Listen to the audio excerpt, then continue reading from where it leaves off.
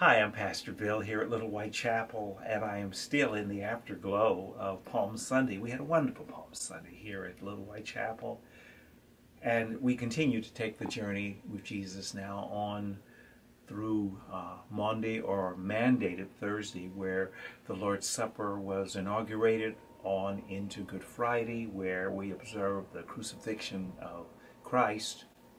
And yet we are straining towards Resurrection Sunday, toward Easter Sunday is Easter Sunday about more than hopefully really good weather and delicious food and Easter eggs?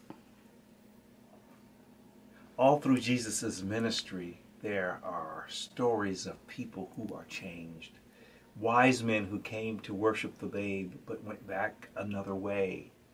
The woman at the well who left the well with a new sense of who she was and what she meant to the community and a leper who, rather than go show himself to the temple authorities, came back to thank the one who changed his life forever.